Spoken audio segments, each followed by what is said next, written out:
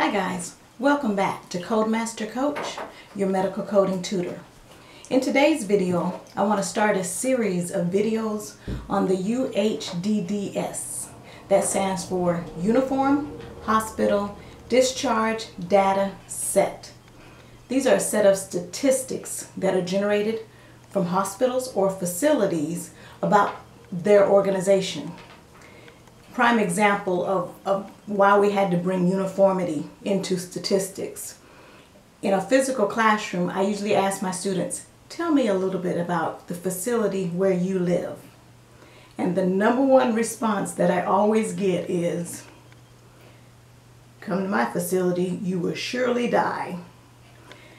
But you guys, that's not always the case if you had one family member that passed at that facility, the whole family tends to get a bad taste in their mouth about that facility.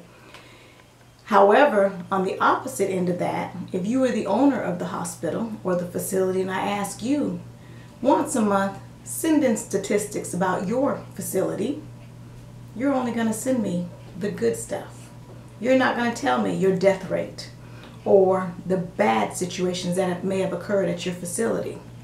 So what has happened now, government requires facilities to turn in uniformity. And it's called Uniform Hospital Discharge Data Set. Where does coding fit into all of this? It's our codes that determine the top 10 diagnoses. Our coding, we put into numbers what's going on with our patients. And because of this uniform requirement of reporting, then all facilities are reporting the same type of statistics. So in these next series of videos that I'll be doing, we'll be talking about exactly what is UHDDS, Uniform Hospital Discharge Data Sets.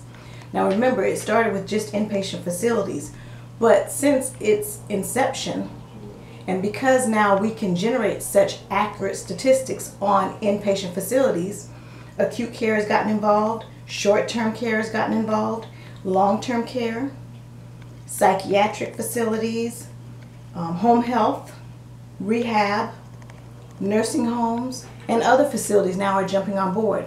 So you can actually now see the need for our codes other than just for billing. Um, Third-party payers are now requiring this information on your claim form when it's submitted. Medicare, Medicaid, top of the bag, top of the bag as far as wanting this information on their patients. Um, and then many other healthcare payers now are, are using them.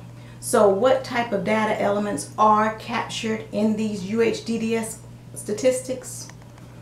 First of all, they want the principal diagnoses. Because remember, when the patient comes in, we put the admitting diagnoses. They came in with a headache. Oops. After study, it was found out they've got a brain aneurysm.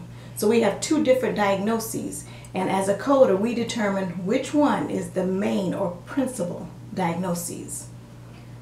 They're looking at other diagnoses that the patient might also have that have a significant um, bearing on this particular admission. All significant procedures that a patient might go through while in your facility. And other items include the age of your patient, sex of your patient, the race of your patient, expected payer, and your hospital identification number. So UHDDS plays a vital role.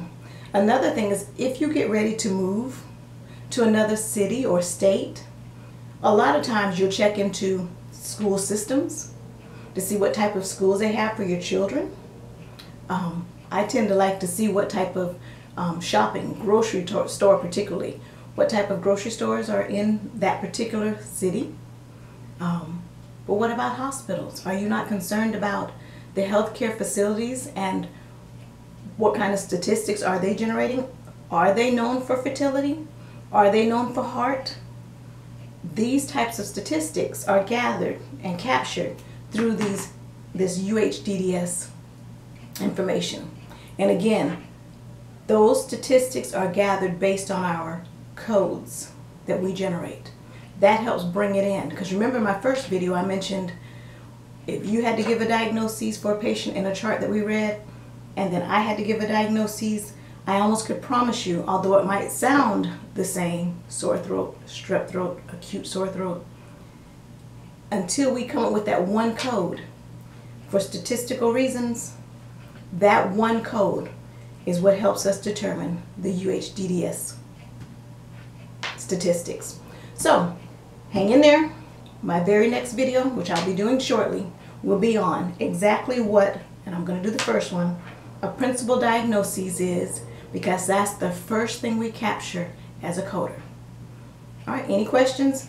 Feel free to send me an email or comment below. And if you haven't subscribed, feel free to subscribe to my channel because we're on this journey together. Thanks, guys.